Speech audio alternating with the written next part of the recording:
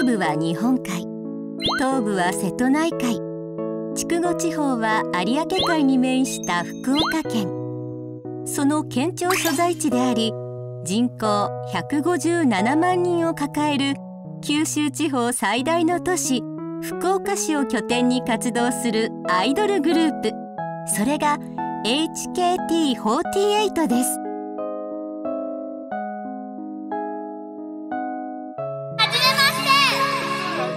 およそ7年前の2011年11月26日に劇場をオープン。秋元康が総合プロデュースする AKB48 グループの姉妹グループとして誕生しました。2013年3月にはファーストシングル「スキスキスキップ」で CD デビュー。オリコンの週間シングルチャートで初登場1位を記録。4月には初の単独コンサートを日本武道館で開催。翌年には九州7県ツアー「かわいい子には旅をさせよ」がスタート。地元九州での活動を大切にしながら東京にも多くのファンを抱える新しいスタイルのグループとして成長を遂げます。そして今年5月に発売された11枚目のシングル「早送りカレンダー」では結成以来の念願が叶い全編地元福岡ロケでのミュージックビデオを制作。このシングルもまたオリコン週間チャートで1位となりこれで11作品全てにおいて1位を獲得。女性アーティストでのデビュー以来連続1位記録を更新しました。HKT48 には現在49人のメンバーが在籍。大好きな仲間たちと共に夢を追い続けながら充実した毎日を送っています。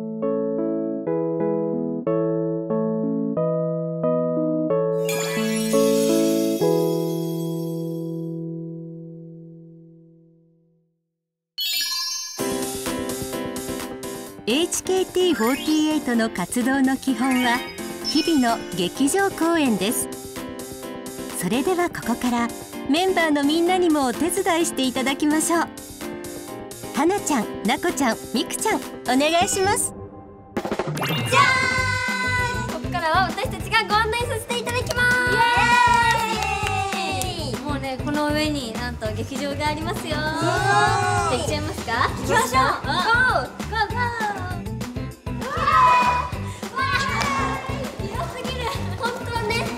まだこんなんじゃないんですよね。二十歳が公演にすしてる時は。物があったりするんですけど、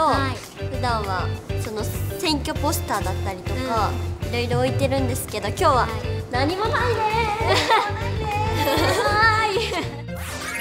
す現在 HKT48 は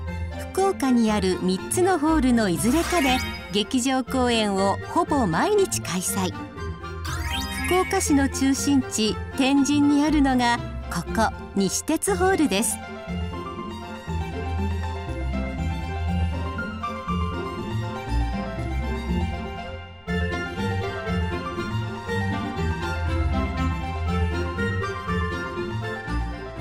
あ広い。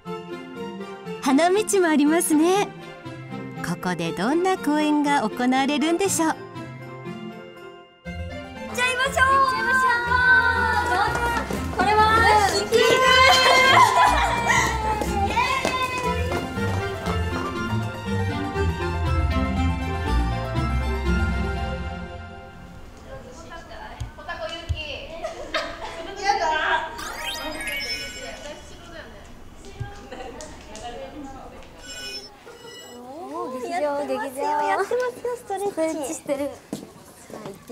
行きましょう。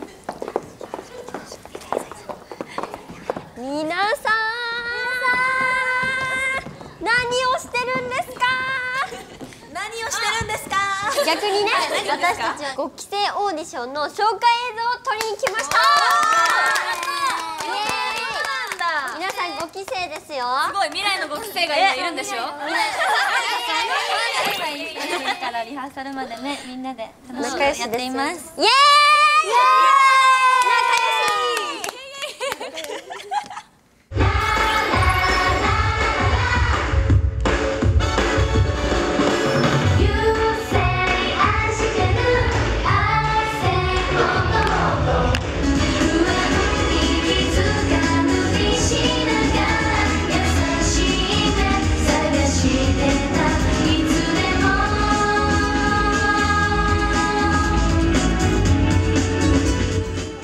な感じでプロのスタッフさんといつもリハーサルをさせていただいてるんですけどいつも音楽も照明も素敵で客席もこんな感じでいっぱいありま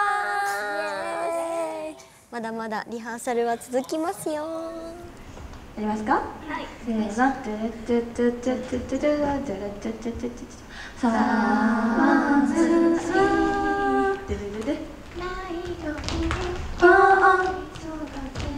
ロ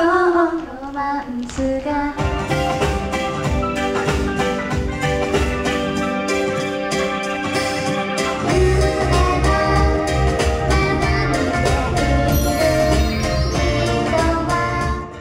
やっぱりファンとの距離が近い分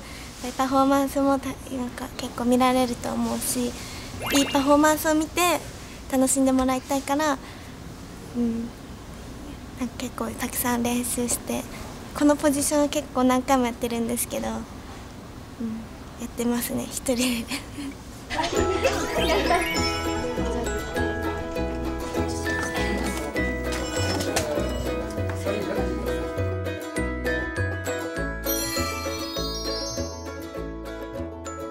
髪の毛を巻いてもらったりとか自分の好きな髪型にしてもらうってやっぱりなかなかないことですし自分じゃできないこともやってくださるのでやっぱり特別感が出てすごくステージに立つのにモチベーションが上がります。あのもうすぐ始まるんだなってすごくあの緊張してくるんですけどでもワクワクしてくるのでなんかヘアメイクしてもらった後はなんか気が引き締まります マリアちゃんチークの色ない。チークはつけてない。まだ下地してる？してない。なんで何もしてない。あほら。ほらこっちの方がいいじゃん絶対。ちょっとつけすぎた。ちょっとつけすぎた。ここにいればめちゃめちゃ話します。なんか、結構みんなここでワイワイしてること多いので誰か一人が歌い出したら みんなが歌歌っちゃう伝染するよね 楽屋にいると流れますよね。確かに。面白い。ここで結構話しますね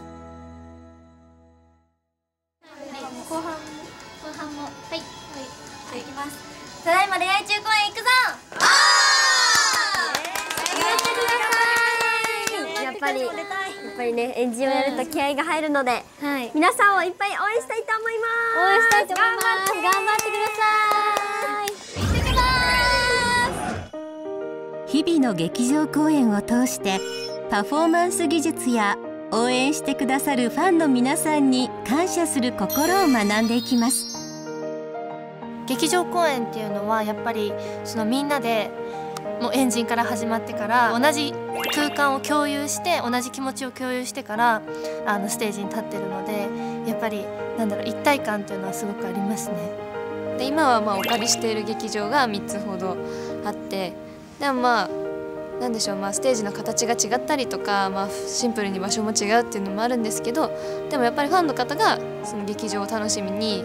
公演を楽しみに来てくださって私たちもそこでファンの方の笑顔を見て元気をもらうっていうその初心みたいなものはずっと変わらずに場所が変わってもすごい残り続けているような気がします。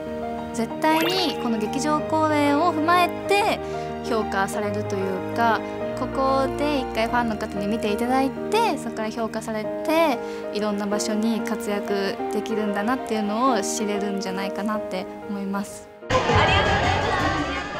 すべてのメンバーが輝ける夢のステージそれが HKT48 の劇場公演なのです。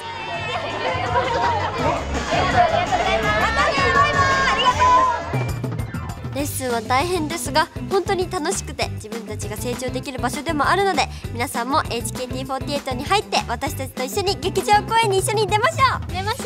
う。それでは次はその他の私たちの活動をご紹介します。いろいろあるので注目です。せーのどうぞ HKT48 はその他にも様々な活動を行っています。中でも熱い思いを持って取り組んでいるのが握手会です。CD のリリースを記念して行われる握手会イベントは夢を応援してくれるファンの方々と直接会える大切な時間。また会場ではメンバーの個性に合わせたステージイベントも開催。バラエティに富んだ楽しいイベントで盛り上がっています。皆さんも白雪姫が好きですよね。だとはい HKT48 は現在までに11枚のシングルと1枚のアルバムをリリース。表題曲やカップリング曲のミュージックビデオ撮影には曲ごとに選抜されたメンバーが出演。またファーストアルバム「092」の特典 DVD には全メンバー一人一人を主役にした短編映画を収録。大きな話題となりました。ほっといてよ。メンバーが口を揃えて言う HKT48 の特徴。それはコンサートが毎回とても盛り上がることです。ステージの上から見るサイリウムの海は一度見たら忘れられない光景ですよ。あ本当に綺麗。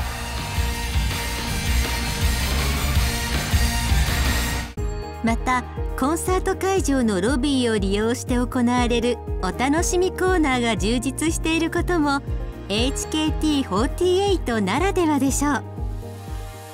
2017年には若手メンバーの特別チーム F24 だけで博多座での単独コンサートを実現。大成功を収めています。他にもテレビ番組やコマーシャルラジオ雑誌などメディアへの出演も積極的に行っています。また秋元康総合プロデューサーが手掛ける AKB48 グループとしての活動に参加できるのも魅力です。HKT48 では今までのアイドルの常識にとらわれずメンバーの個性を生かせるプロモーションを心がけています。私はもともとソフトバンクホークスさんのファンで入る前からヤフオクドームに足を運んだりしていたんですけどまさか普通のファンで一ファンとして見ていたヤフオクドームで始球式をできると思ってなかったので嬉しいです。今月号なんですけどこれは。表紙もしました。釣りが好きで幼い頃から釣りをしてたのでという SNS にプライベートでそのいった動画を自分で動画を作って趣味でただただ上げてたらその釣りニュースっていう新聞さんからオファーいただいてその釣りのお仕事をするようになったんですけど今まで以上に自分が自信を持って HKT で活動できるようになりました。私昔から演技には興味があったんですけどなかなかなんか勇気がなくって HKT だけでその博多座さんとか明治座さんとかで公演をやらせていただいたことがあったりしたんですけど石川さゆりさんの特別公演ということで非常になんか大きなチャンスをもらったといいますかそのスタッフさんからその坂口は潤滑油になるような存在だから頑張ってねってあの言われた時に活動を通して培ってきた力をそうやって発揮させてもらえる場所があるんだなと思ってすごく嬉しくもなりましたし緊張したんですけど。HKT のアルバムの大感謝祭の時にあのー、マップのイラストとかあと T シャツのデザインとかそのイベントのロゴのデザインとかをやってほしいって言われ言われて趣味なのでなんかそんな本格的にやってないのに大丈夫かなと思ったんですけどあのイベントが終わった後に友田に任せてよかったって言われた時にやってよかったなって思いました。やっぱ唯一自分がそこを発揮できる場所なのでもっとあの力をつけてもっともっといろんなことにつなげていけたらいいなと思いました。私はマジスカ学園のシリーズだったりあとは「クローズブラッド」っていうあのドラマに出演させてもらったことがあるんですけどどちらもあの主演ダブル主演とかをさせてもらって特に「クローズブラッド」っていうドラマはあのソウのハリウッドの映画の監督の方が来てくださって撮ってくださったので現場で日本語と英語が飛び交っていて本当にこうなかなか経験できないことをさせていただいたのでアイドルとしても女優としてもいい経験をさせてもらっているなって思います。HKT48 に入る前はこう漠然とした夢だったんですけど実際にこう女優業をさせてもらったりいろんな経験をさせてもらってからこう具体的な夢だったり目標ができてもっともっと女優として頑張りたいって思えるようになりました。あなたも HKT48 に入って自分だけのステージを見つけてください。HKT48 ではダンスや歌はもちろんさまざまな分野のプロフェッショナルがあなたの活動をサポートします。初めからできた子なんてごくわずか。その多くは歌もダンスも苦手な普通の女の子でした。HKT48 に入ってプロの先生に学んだり仲間と助け合いながらアイドルとして成長してきたんですね。私はもともと結構内向的なあの人見知りな性格だったんですけどあの HKT に入ってやっぱりもう出会いの数がもう尋常じゃないのでもう人とたくさん接する機会があるのでやっぱり自然と人見知りが治ったりとかあとなんだろう積極的な性格になったなっていうふうには自分で思います。やりたいことがあんまなくて入る前は。でも HKT に入っていろんな経験をさせてもらってからやっぱ自分のやりたいことだったり次の目標とかっていうのがどんどん明確になっていって劇場公演を通してすごい舞台に立つっていうことがすごく好きだなって気づいてなので将来舞台を立て立ってお芝居をする女優さんになりたいっていうのをそこで改めて発見することができて今それに向かって頑張ってます。最初に来た時はやっぱり北海道から福岡でメンバーの先輩方にもすごい驚かれたり遠いところから来た人が他にいなかったので自分がこう受け入れられるかっていうのも不安だったんですけど HKT のスタッフさんもメンバーもこうみんな一丸となって支えてくれるのですごく素敵だなと思います。あの入る前はやっぱりどこにでもいる普通の女の子だったので自信なんてさらさらなかったんですけど入ってファンの方と触れ合うことによってすごい自信もつきましたし自分の夢が少しずつ見えてきたなって思います。握手会とかこういう劇場公演とか SNS のコメントなどで「そのちゃんよかったよ」っていういつも来てくださる方や他の子のファンの方が言ってくださるとあ少しずつ自分が変われてるんだなって一番実感するので本当にそれで自信がついてきます。日々の劇場公演で実践力を養いさまざまな活動を経験することによって夢を実現できるように取り組んでいます。さあお待ちかねの衣装の紹介です。メンバーの皆さんにご登場いただきましょう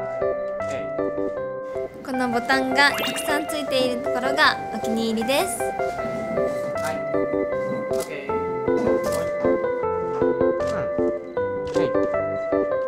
この衣装の好きなところは一人一人装飾やいろんなところが違うところと HKT らしく元気いっぱいなところです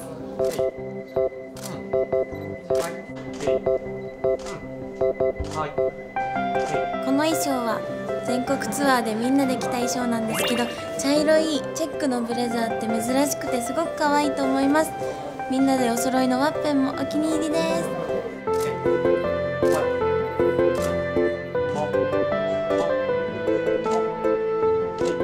この衣装は私だけのです。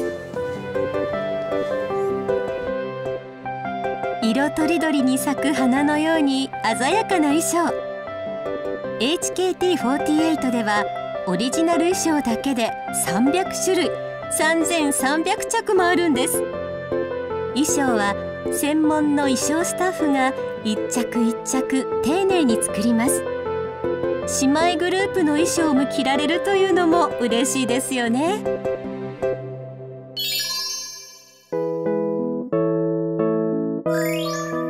なメンバーと素敵なスタッフさんと何よりファンの方に出会えたことです。たくさんの人に笑顔や元気を届けられることです。素敵なメンバーと素敵なファンの皆さんに出会えたことです。ファンの皆さんに笑顔を届けられるだけでなく好きなことも深められる。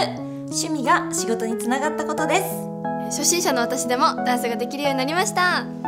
地元に帰った時にスター扱いしてもらいます。一緒に笑って一緒に泣いてそしてみんなで一緒にふざけられるかけがえのない仲間ができたことです。いかがでしたか？夢と希望をキラキラと輝かせるグループ。大切な仲間と一緒に頑張れるグループ。そして地元九州を中心に活躍できるグループ。そんな HKT48 で皆さんも夢を叶えてみませんか？